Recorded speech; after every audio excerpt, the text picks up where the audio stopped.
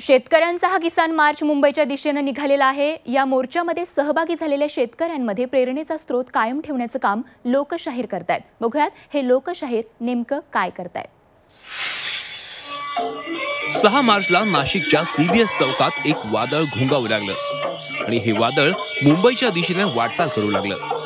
जस जसं हे वादळ मुंबईच्या दिशेने येत होतं त्याचा वेग वाढत होता. आता हे वादळ मुंबईच्या दारात पोहोचलंय. Long march. शेतकऱ्यांच्या शेतमजुरांच्या वेदनेचा एल्गार.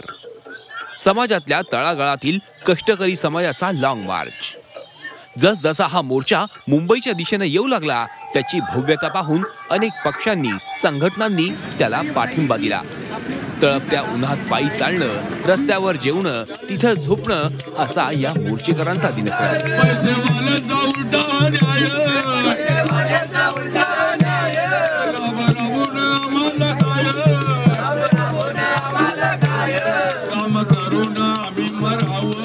मात्र या मोर्चामध्ये प्रेरणेचा स्रोत कायम ठेवण्याचं काम एक शाहीर करतोय. रखरखत्या उन्हात मैलून मैल पायी चालत जेव्हा हा लॉंग मार्च रात्रीच्या विसाव्यासाठी तळ ठोकतो त्यावेळी दिवसभर चालून थकलेल्या शेतकऱ्यांच्या कानावर जगन भसेंच्या क्रांती गीताचे स्वर कानी पडतात. त्यांनी शेतकऱ्यांना प्रेरणा देणारी अनेक क्रांती गीतं रचली.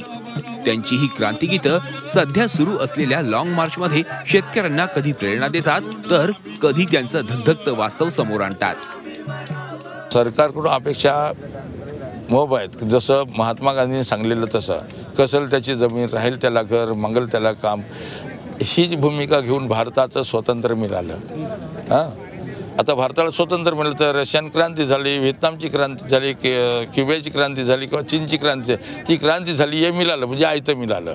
आता आयतं मिळालं म्हणजे कोणाला काय द्यायचं? ते हे सरकार ठरवतात ते देत नाही. म्हणून आमचा लढाई का आम्ही तुम्ही सांगितलेलं ते आम्हाला मिळत नाही. तर मग तो आम्हाला आमचा हक्क आम्हाला द्या ही आमची लढाई आहे.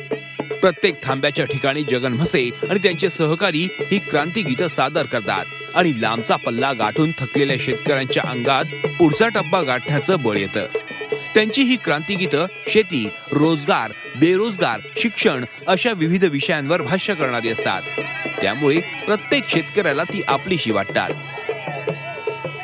या ठिकाणी गीतं गायलतो. आम्ही एक दुःखाने गीतं गायलतो.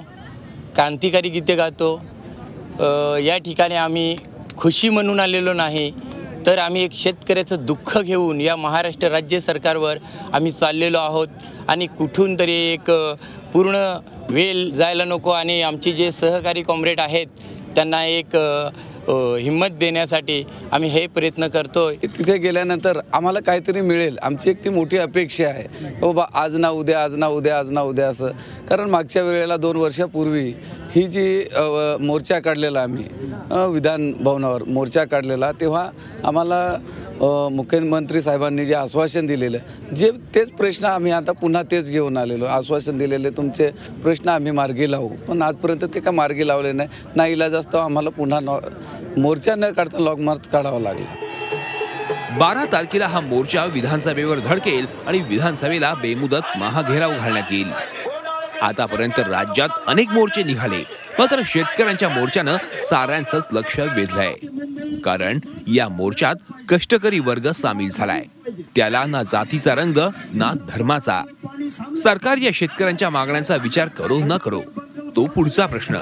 पण जगन म्हस्के यांच्यासारखे लोकशाहीर प्रलंबित प्रश्नांना वाचा फोडण्यासाठी आपल्या क्रांती गीतातून या शेतकऱ्यांना व्यवस्थेविरोधात लढण्याचं बळ देतच राहतील.